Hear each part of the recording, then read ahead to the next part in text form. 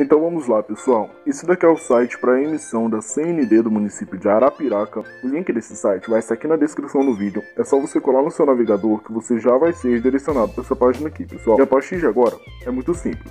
É só você descer tudo aqui mais abaixo, procurar a opção Serviços e Imprensa e aqui mais abaixo em Serviços, ok? Aguarde um pouco, você será redirecionado para essa página aqui e você vem aqui, pessoal, em Cidadão e procure a opção aqui, ó, Imóvel, Emissão de Certidão Negativa de Débitos. Você tem que procurar essa opção que está em verde aqui, ok?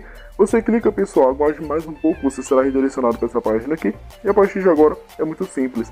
Emissão de certidões, você vem aqui em Certidão Contribuinte Geral e aqui você faz o que se pede. Selecione pessoa, você coloca jurídica e mais abaixo, CPF barra CNPJ, você informa o CNPJ que você quer estar utilizando. Eu vou colocar qualquer um aqui para mostrar para vocês como funciona, ok? Agora é simples, clique em consultar e aguarde um pouco até que seu documento seja impresso, ok? Esse daqui foi o site para emissão da CND do município de Arapiraca. Muito obrigado pela sua atenção.